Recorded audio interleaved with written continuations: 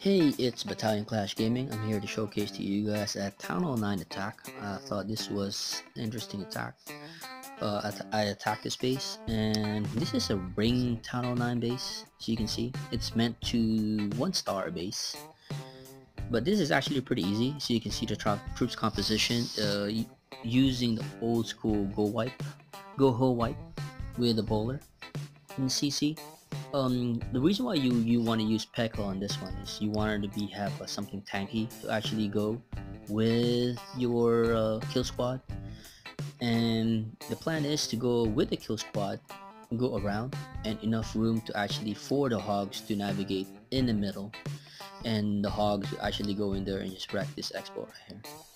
See this uh, this expo right here is useless. As you can see it's not protecting any defense it's just protecting the ones oncoming defense once they get in the middle or close to the middle.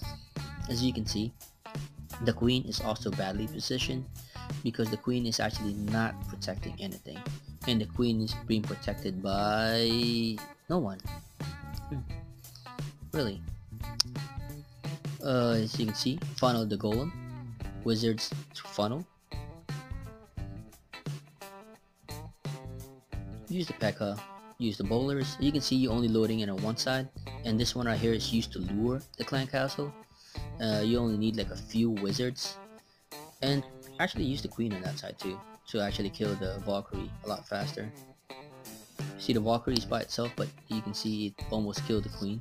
If there's like three of them, we instantly kill the queen. I don't know how the Valkyrie jumped and went past the golem and went for the wizards instead, but that was kind of weird. You can see the golem was beaten up over there, so that was actually good. Drop the P.E.K.K.A to go in the middle. You can see the P.E.K.K.A read where the king, uh, queen was, and it, it, once you're able to detect that, it's actually over for the queen because you could just smack down the queen like once or twice. This one I here, use the rage instead of the heal, so the hogs would actually go through them a lot faster. It's kind of weird how the Hogs actually, uh, you know, went on a separate ways. Usually that's how it happens when you have the hogs, they gather in the middle and then they're gonna separate, scatter all over the place. That's what happens when you actually have this one, one anti two star uh, town halls bases.